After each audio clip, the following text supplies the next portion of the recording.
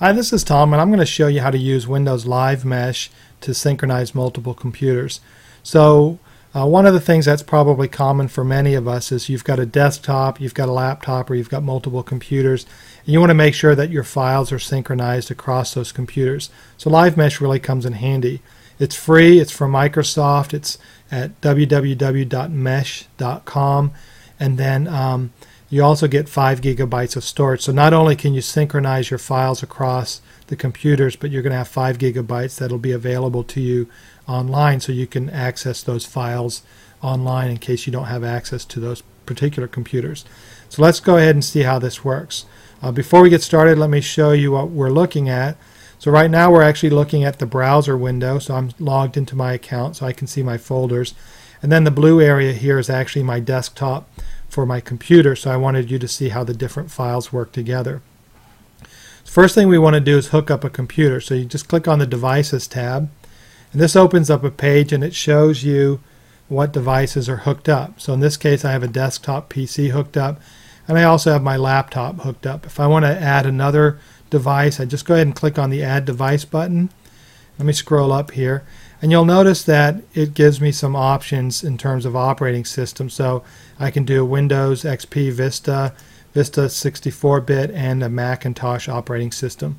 So go ahead and click on Install, and what that'll do is take you through the process of installing that device to uh, your live mesh, and then it'll show up here in this ring. And then in the desktop, you can actually see the files that are part of your mesh. Now you've got a number of folders, and some folders might be uh, synchronized across all of the devices, and some folders might be synchronized across like one of the devices. So there's ways you can tell that, and I'll show you how that works here in a second. So we're online. Let's go ahead and create a new folder. So we're just going to create a new folder. We'll call this Tom Test 1. And I want this to sync with my desktop because that's what we have here in the blue area. So I want to show you how that works. I'm going to sync it with my desktop. Hit OK. You're going to notice it's going to create a Tom Test folder here. And then it's also going to create a Tom Test folder on my desktop. And lo and behold, there's my Tom Test folder. So now I've got a folder on my desktop and I have a folder online. And then I can synchronize. So whatever I add in here, it's going to show up on my desktop, whatever I add on my desktop is going to show up here. And if I'm sharing this folder with other people, uh, they're going to see those uh, changes as well. So let's look at the on the desktop version of it. So I'm going to open this up. And you notice it's just a regular folder, but what it did is it added this little side tab here, and that lets me know I'm on Live Mesh, and this folder is synchronized with that. And so when I look at the side tab, it'll show me whatever activity I have. So in this case, I can add a message if I'm sharing that with other people.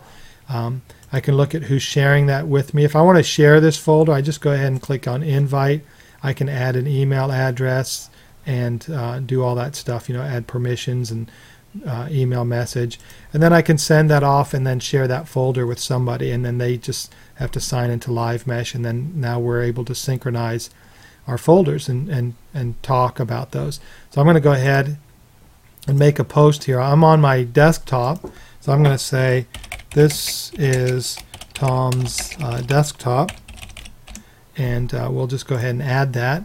And so it's going to post it. It's for some reason it's a little slow today, but um, the post should show up in here. But we're going to go ahead and close this.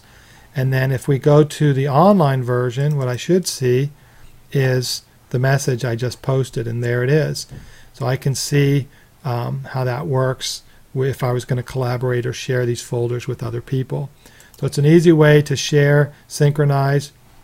Now, if I'm on my desktop and I have a folder that I do want to uh, add to my live mesh, that's really easy. I've got this blank folder here.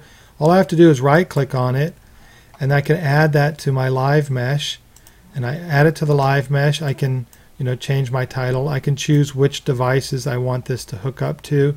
Go ahead and hit OK. It's going to create a live mesh folder. So that was Tom Test 2. And you'll see a Tom Test 2 show up in here. The other thing you'll notice is my Manila folder turned into a blue folder. So the blue folder is indicating to me that this is a live mesh folder. And that's what I really like about that because I can take any folder on live mesh and right click on it and add it